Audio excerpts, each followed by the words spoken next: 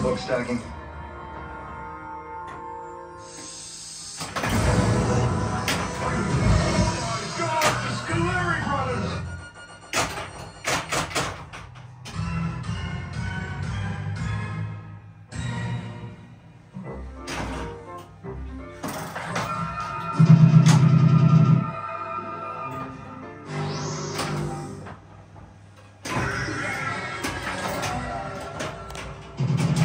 Right, no human being stack books like this.